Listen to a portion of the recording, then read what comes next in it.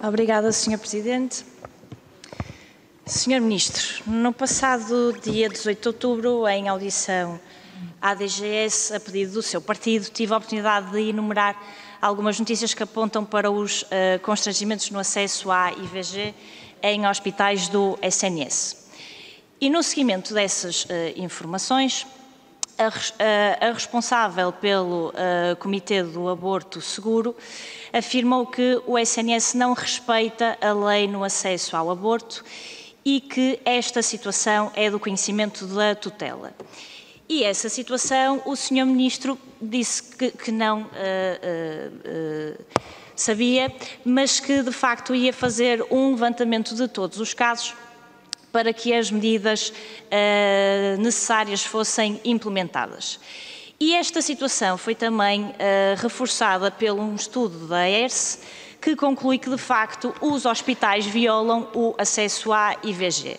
E veja-se que 20% das IVGs, portanto um quinto, ultrapassou em 2022 o prazo legal entre o pedido da utente e a consulta prévia.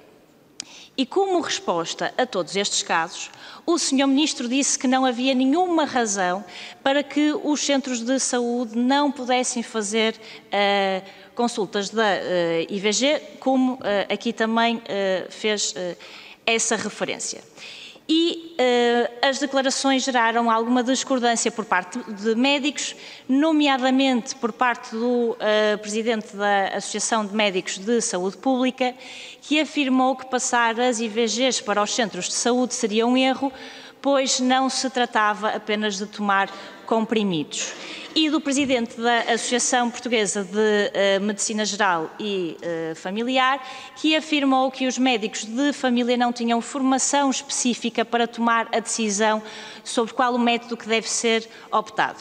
E por isso questiono se considera ou não, parecendo-me a mim que pelo que já disse, acho que não, ser grave que o acesso à IVG não está a ser assegurado na sua plenitude em Portugal e de que forma uh, é que pretende uh, uh, solucionar esta situação, sendo que ainda se torna mais grave, tendo em conta que o seu partido governa há oito anos.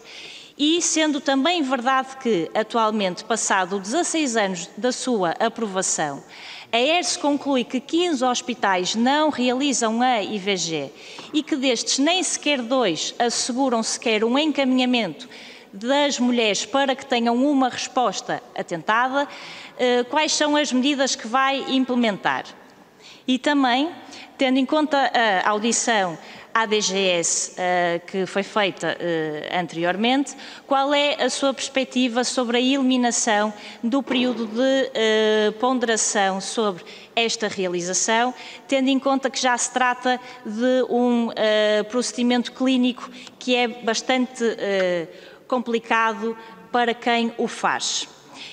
E também uh, queria uh, uh, fazer-lhe uma última questão, muito tendo em conta aquilo que já aqui referiu, que é se não acha que as medidas que pretende implementar são mais para tentar resolver um sintoma do SNS do que de facto dar uma melhor resposta a todas estas, estas mulheres. Obrigada.